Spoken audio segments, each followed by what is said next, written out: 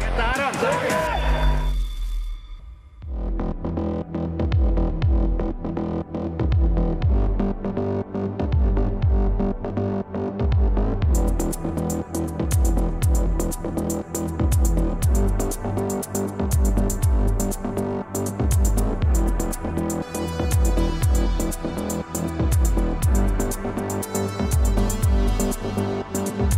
Nem gondolnám azt, hogy, hogy bárkinek is most jó a lelki állapota, de ez most már múlt, és ezzel nem nagyon foglalkozunk.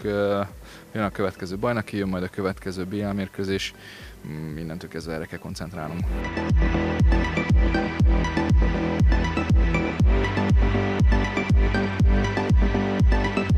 Visszatért Mirko Alilovics. Miben tudsz segíteni neki, hogy újra az a régi Mirko legyen?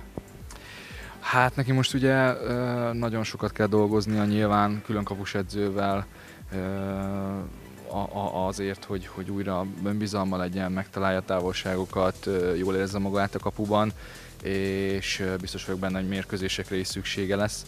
Úgyhogy én azt gondolom, hogy hétvégén már ő lesz a kapuban, és biztos vagyok benne, hogy, hogy nagyon jól fog esni neki, hogy újra mérkőzésen állhat majd be.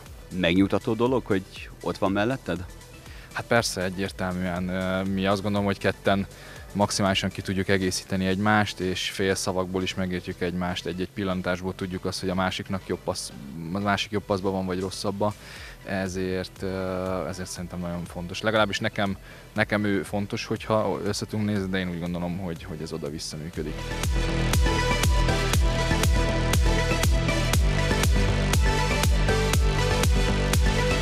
Kijelenthetjük, hogy a bajnokság meglepetés csapata lesz az ellenfelünk vasárnap este a Veszprém arénában.